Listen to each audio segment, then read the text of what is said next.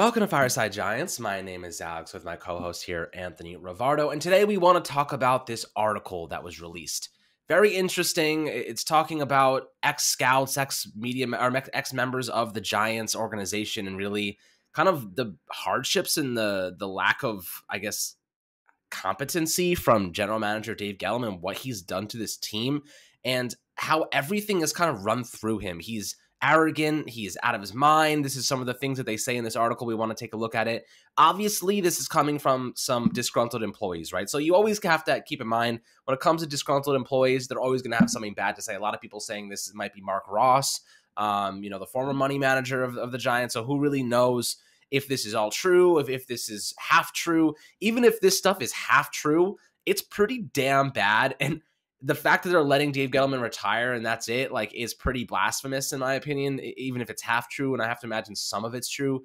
Um, this some of the stuff that we're going to read you is is coming from this article. It's it's really it's really a, a, testament to how bad this organization is right now, how badly it's fallen, how far it's fallen from the once golden age of the Super Bowl winning teams, and what they did in terms of scouting these players and the mistakes that Dave Gettleman made and just swinging for the fences and not taking a practical approach toward things. So we're going to take a look at some of these things, react to them, um, and we want to hear your opinion, of course, in the comments below. And make sure to subscribe and like, as always, my friends. But Anthony, before we dive into this pretty horrific stuff, how you doing today, my friend? You know, I'm doing all right. Um, really excited that we have so much football on this week. We've had football pretty much every day of the week. No football today, one day break. So we get to talk about the New York Giants and Dave Gettleman and why he needs to be axed. He needs to get out of here as soon as possible. Now, NFL insider Albert Breer recently this week, he said that they're going to arrange a graceful exit for Dave Gettleman. They're not going to fire him midseason. They're not going to even fire him, I don't think. I think they're just going to let him peacefully retire and go off to greener pastures and present it as something where he's just old and doesn't want to do it anymore. They don't even want to fire him. And I just think it's blasphemous. I think it's ridiculous. Dave Gettleman, you read this article, I mean, sure, you have to take it all with a grain of salt. You don't know what's true. You don't know if any of these sources are truly reliable. Some of these guys might just be bitter because they were fired and maybe they were deservingly fired, but now they're bitter and they're just writing a hit piece, right? However, where there's smoke, there is fire. And I think that some of the stuff in this article is actually true. Now, maybe not all of it. Maybe the truth is being stretched. Maybe some of it's being blown out of proportion. But I do believe, based on things that we've heard from other sources, combined with this, based on things that we've seen in the media from Dave Gettleman, I think that a lot of this stuff is true. And I think that it does really just highlight and reflect how bad the New York Giants have been under Dave Gettleman's reign and how his regime is a complete top to bottom failure. And he does deserve to be fired as soon as possible because of it, even though unfortunately we're going to have to wait until the end of the season to see his retirement party.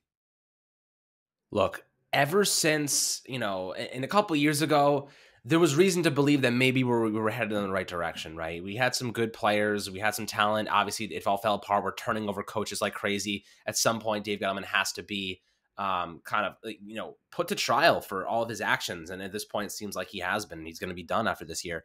But we we can all come to the conclusion now that it's been a mess. It's been an absolute disaster. And looking back in retrospect, he's a pathological liar, right? He's lied to us every single step of the way. For example, we got to play the younger guys. Matt Peart doesn't play. We trust our offensive line. They clearly don't because they suck. I mean, the fact they had any trust in that offensive line is is news to me. We don't sign him to trade him. Oh, Odell Beckham Jr. gets traded.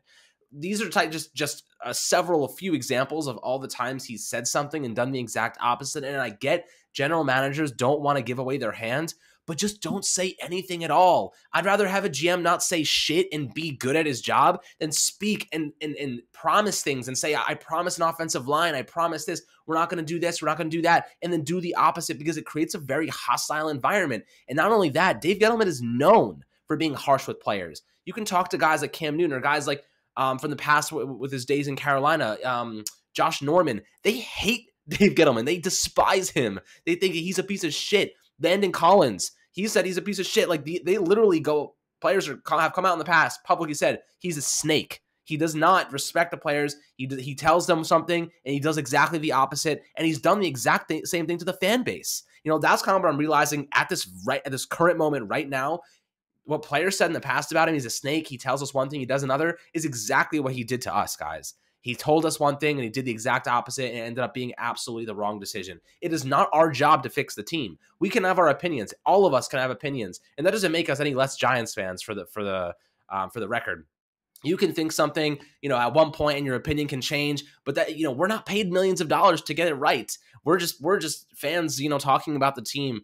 Um, so the people on Twitter who who who want to like do annoying things and, and and belittle other fans for opinions that they have, it, what kind of fan are you? You you are no better than anybody else just because you may have got something right or said something that you know may have gotten may have been right years down the line. Um, so you know, at the end of the day, we're all Giants fans. All we want is this team to win. If this team was successful in winning, we would all be having a party together, and we want to get back to those Super Bowl winning ways. And Dave Gettleman, unfortunately, has done a lot of lying to us, and a lot of us bought in. And I think that was that's the biggest lesson I've learned from even the Joe Judge tenure up to this point, and the Dave Gettleman tenure of four years is that I'm not listening to a word these bastards say anymore. Not a word, guys. You you you have to prove your worth with action. If you go to a job and you tell your boss, "I'm going to do such a great job. I'm going to do this, I'm going to do that," and you fail to do it all, but you got their hopes up and they get and they put a lot of faith in you, you still didn't do the job. You're going to get fired. I mean, like you did a bad job. If you can't live up to what you say, what you're nothing more than words. And at this point, we need guys who are going to come and do and, and, and actually execute what they say they're going to do because up to this point, it's all been talk, it's all been hearsay, it's all been bu- bullshit. And I need to see action. I, I, will not, even after we hire another GM, it could be Ed Dodds, it could be anybody. If they say, we're going to turn this team around, we're going to do this, we're going to do that, I'm going to say, you know what, man? I don't care what you say. I want to see you go and actually do it because up to this point, we've been lied to over and over and over again. And I'm tired of it, guys. I'm tired of being lied to. The fans don't deserve this. The GM don't say anything. Pull a Bill Belichick. I don't know what the I don't know what the hell you're talking about. I don't want to. I don't want to answer that question. I'm a, I'm gonna go on to the next question. Don't answer. You know he's still the best coach of all time because he doesn't answer. Like don't give us false promises and false hope because you build a lot of confidence and you just when it when it fails the sledgehammer comes down even harder. Um, but Anthony, you know, looking at some of the stuff that that uh, you know, uh, who's the author of this? Um, Tyler Dunne looking at some of the stuff that he said, some of the stuff that ex scouts, some of the stuff that people said about Dave Gettleman, you know, I want you to, you know, maybe read some of these things that you're seeing, um, and then we'll react to them. Yeah, I want to read one excerpt of this article that I think is a little bit weird, and I'll explain why I think it's weird. It's about Chris Mara. Now, first of all, if this excerpt is true, Chris Mara sucks. I've said for a long time that Chris Mara sucks. I went on this rant like months ago about how the Giants are filled with nepotism. I remember on the YouTube comment section, a lot of people agreed with me. They liked what I said. So I'll say it again. The Giants are founded on nepotism. They are ran through nepotism. John Mara runs this team. Chris Mara, his brother, is vice president of player personnel. How is that not nepotism at its finest? How is that not just clear and obvious? Like that's mm. that's not fair. There are more qualified people in this world that could be working that job, that could be doing that successfully for the New York Giants. But Chris Mara has it because the Giants are a family business. That's nepotism to me. And also, I mean, I, again, I said it back in the back when I had this original rant. I loved Joe Judge at the time. He was also kind of a nepotism hire because they only hired him because Bill Belichick gave a glowing review, and Bill Belichick used to be a member of the Giants. Dave Gettleman used to be a member of the Giants. So why did he beat out all the other candidates? Because John Mara knew him and he was friends with him already because he used to work for the Giants. That's nepotism. The Giants are ran through nepotism, and that's why they're a failing organization. That's why they never make any out of the box hirings. That's why they never go outside of the organization. Everyone that they hire for every freaking job has some connection to John Mara or the New York Giants organization in the past. That is why the nepotism is failing this team. So that being said, let's read this quote about Chris Mara. Once, when when tackle Russell Okung was interested in signing with the Giants as a free agent, Chris Mara stepped in to say that Okung's ex-agent calls him an asshole, so the Giants didn't sign him. So Chris Mara was talking with the agent, didn't like the way it was going. The agent called him an asshole because it seems like he is and the Giants didn't sign their left tackle because of that. Now, here's my only thing with this is I don't know when. It doesn't give a time stamp of when that happened because Russell Okung has been representing himself in free agency over the last five years. He's, if you guys remember, Russell Okung is the one that converted half of his salary to Bitcoin and became one of the highest paid players. He did that himself. He doesn't have an agent. Him and Richard Sherman run their own agency, but I believe that over his first two contracts, he was um, represented by an agent. So this must have been, either pre 2017 or 2016, somewhere in that time span. So you could say that maybe this is a lie. You could also say that maybe this is true. And this problem that the Giants have been having has been happening for a very long time over the past six years. Chris Mara has been botching free agency for six years now. And obviously, we've seen that in many different instances. Now, here's another one that I think is really, really interesting. Another quote. And this is about Dave Gettleman and basically the way that he treats people on his staff. So, this is from 2020 NFL Combine. Um, I'll read the quote now. As Gettleman tried to wipe his scouts' memories of anything they learned from the previous regime, he also started doing what he allegedly abhorred firing scouts quite callously too. At the NFL Combine in 2020, the scouts all flew out to Indianapolis on a Sunday, had a team dinner, attended weigh-ins on Monday morning, and then everyone got a text message to meet for a meeting in a suite to review pro days. After a while, Gettleman and Abrams emerged, quote, abruptly, one source recalls, and said they just let to go two of the team's longest tenured scouts, which was beyond strange. Why fly those scouts out to Indy just to fire them? No one interviewed for this story got legitimate answers. Now, I think that's ridiculous. And I, that is some of the most unprofessional stuff that I've ever heard go down in an NFL organization. We've obviously many bad things happen in NFL organizations around the league, but that's pretty bad. To fly these scouts out, have them do all this prep work, prepare to do this job. This is the big day. This is the day for them to do their job. And then you just fire them on the spot and give no answers to the rest of the staff. Two of the longest tenured scouts on the team. It's obviously disrespectful. It kills morale amongst the scouts that are remaining on the staff. I, and it's just not the way that you conduct business operations. This is just, I, I, think, extremely disrespectful, rude, and as I said, it was abrupt and abhorrent from Dave Gettleman and Kevin Abrams. And that also does highlight that it's not just Dave Gettleman. Dave Gettleman and Kevin Abrams absolutely work in tandem to do some of the dumb stuff that they do. So this is one little excerpt that I think is really, really highlights the uh, idiocracy of Dave Gettleman.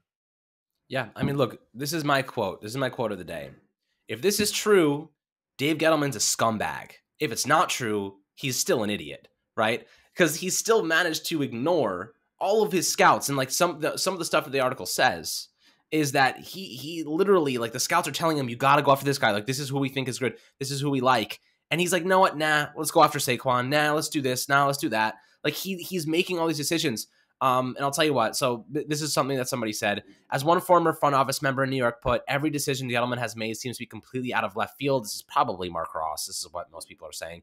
Take a running back at number two. Okay, now we're going to take a quarterback nobody else wants. Now we're going to sign a left tackle to billions of dollars that nobody else would have paid. It's every decision. It wasn't okay. This makes sense in a vacuum. It was always what? What are you doing? most decisions you can you can justify. It's a continual pattern of swinging for the fences, the stuff that no one else would do, and he keeps stacking it. Um, asked when uh, exactly the ship started to sink, another ex scout takes a deep breath and chuckles. Where do you begin? It's not pretty, but until the Giants undergo serious self reflection, um, they're going to keep making the same mistakes again. So, and, and, this is this is another like kind of thing that came to me. That this another scout says, um, you know, because they were saying like he's the biggest asshole in the room. Um, but guess who's the biggest a hole in the room? This scout says it's the guy saying he doesn't want them guys, it's like the people that the scouts kind of suggested. Um, I, I just don't really understand why Dave Gettleman seems to be this know-it-all. Like he, at least that's the way that he's being portrayed in this.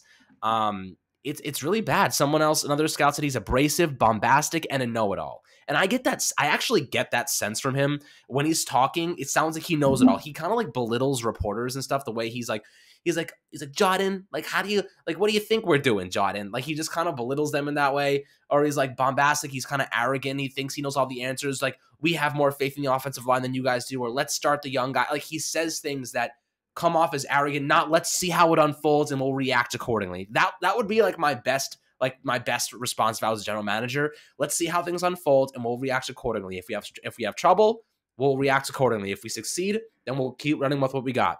But instead, he's like, we have complete faith in this. And then the offensive line becomes a bottom five pass blocking unit once again for the third consecutive season.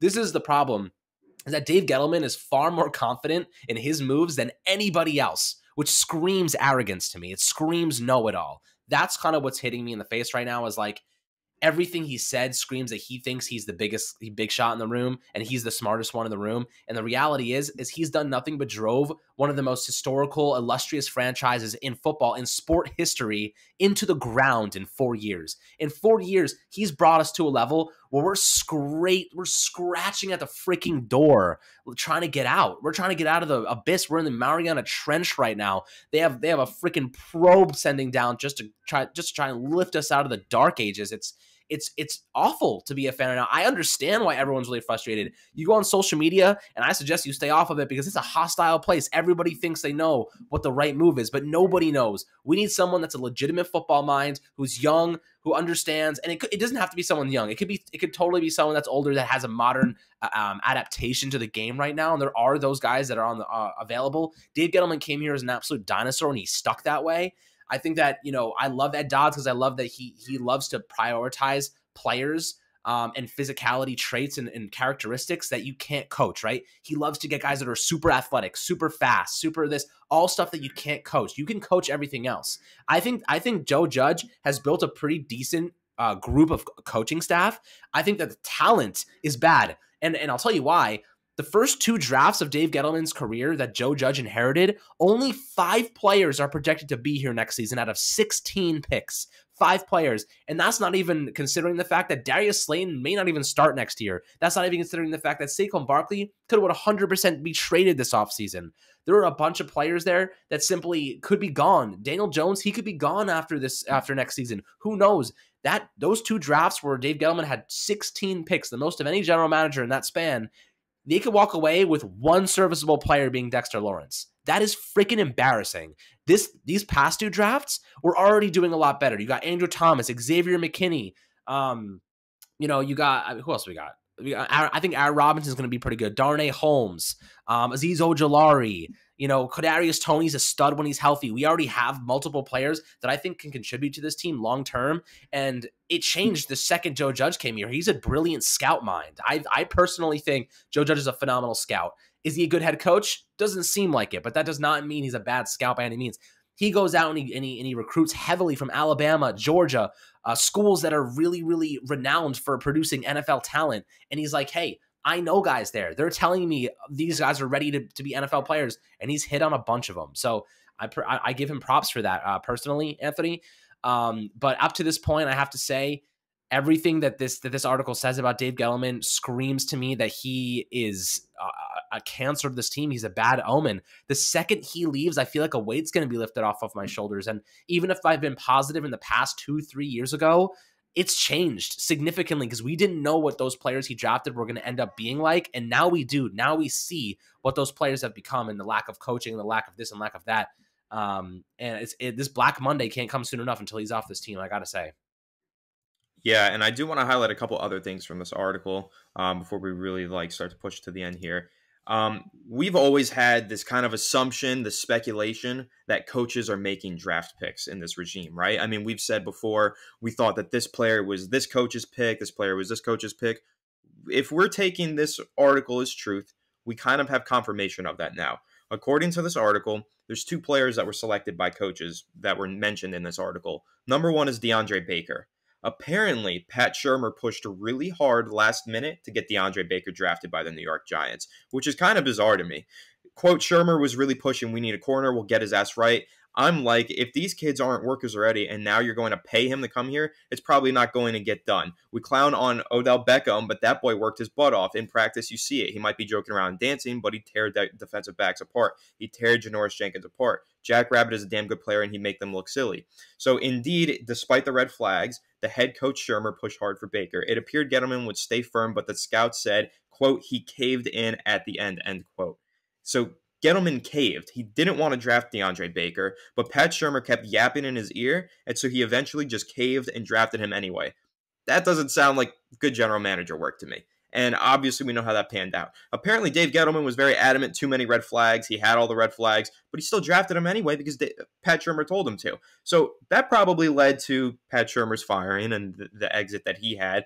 It sounds like instantly we know now Pat Shurmur and Dave Gettleman did not have a perfect marriage. They did not have a good rep- rapport together. They just did not get along well, and that's ultimately why they moved on from him. But now we have another fired coach who made another pick on this team. according to this article, Jason Garrett is the reason that the Giants went ahead and drafted Andrew Thomas with the fourth overall pick. So they were actually thinking about drafting Tristan Wirfs, but it was Jason Garrett that wanted Andrew Thomas. Now, we all know Tristan Wirfs and Andrew Thomas are both phenomenal talents. Who's better right now? Tristan Wirfs, right? He's arguably the best right tackle in the NFL, definitely the best young right tackle in the NFL. We all love Andrew Thomas. I love Andrew Thomas. I think Andrew Thomas is excellent. If you put a couple more pieces around him, he can be one of the best tackles in the league. So I'm not complaining too much about this, but it does highlight the fact that coaches on this staff are making draft choices. So you know, when we say, oh, I think this was a Dave Gettleman pick, or I say, oh, I think this was a Joe Judge pick, well, that's now highlighted that we're right about that stuff, right? Like, at least to some extent, if this article is completely true, um, it seems like pretty much everybody in the fan base is trusting the source. So, yeah, Jason Garrett is the reason that Andrew Thomas is on the New York Giants. I guess that's his parting gift. So, thank you, Jason. However, it just it's very interesting to see the way that the Giants operate here. It seems really dysfunctional. Coaches are making selections that aren't always the best selections, and Dave Gettleman is holding firm on certain players and then caving at the end and letting the coaches make the decision. And another thing with that is apparently they were on Zoom because it was the COVID draft. The scouts were in one room, and then the general manager and head coach and uh, Kevin Abrams were in another room and they just made the selection. They buzzed the scouts in and we're just like, yeah, we're taking Andrew Thomas. They didn't even get to discuss it with the general manager, which is just kind of like alienating all of the guys that have done all the research on all of these players. Doesn't really make a whole lot of sense to me. It's kind of ridiculous. So yeah, this whole this whole article is really fascinating to me to get this little inside scoop on how Dave Gettleman has ran this team, and you know every way that Alex has described it is completely accurate. It's it's kind of like they just have this big know it all running things. And when he does finally, he's like, okay, I'll let the coach make the decision. Maybe he should use his judgment because sometimes it might even be better. It's just so it's such a dysfunction is what I'm seeing from this article. That's my main takeaway is that the Giants are bad because they're dysfunctional. And yeah, the nepotism's part of that. Dave Gettleman being the biggest a hole in the room, according to this article, is part of that but there's just so much dysfunction. And this is something that the Giants need to clean up. And I think it runs a little bit deeper than just firing Dave Gettleman. I think you're talking about maybe removing Chris Mara from his position and maybe reworking the scouting. You got to get some better coaches in there that are better at player personnel and uh, scouting in, in general. So there's going to be a clean sweep, hopefully, on that Black Monday. Hopefully, the Giants go out there and they really tear this front office apart because it sounds like it really needs to be torn apart. If they, if Kevin Abrams gets promoted to general manager, I don't know what I'm going to do. I'm going to fall into a deep pit of depression because I know that this dysfunctionality is going to continue. If we don't like Dave Gettleman as general manager, then his best buddy, his right hand man, Kevin Abrams, we should not like him as general manager either. That doesn't make any sense. One is just as dysfunctional and as incompetent as the other. The Giants, man, they gotta clean this freaking front office immediately and go with an outside of the organization hiring. I don't want to see any connections to this pl- this coach or to this front office personnel member. They need to make a clean sweep and go outside of the organization. It's so necessary at this point. This dysfunction needs to end. Yeah, you know, I actually saw in the article, or maybe not the article, but this is actually a fact. The so that the hierarchy of the player personnel, like uh front office, like the the top guy is Chris Mara, right? But below him, there's two guys, right? And apologies for the uh, ambulance going by. Hopefully, removing Dave Gettleman from his current job. I'll mute it for one second. Yeah, it's really loud. For you guys. Yeah, New welcome York to New York City. um, but okay, so the guys below Chris Mara, and this is really gonna make your blood boil. Talk about nepotism. This is gonna really piss you off.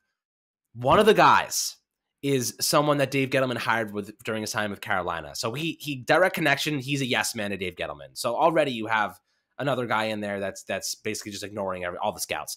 The second guy, this is really gonna make you make you pissed off, is John Mara's nephew. John Mara's nephew.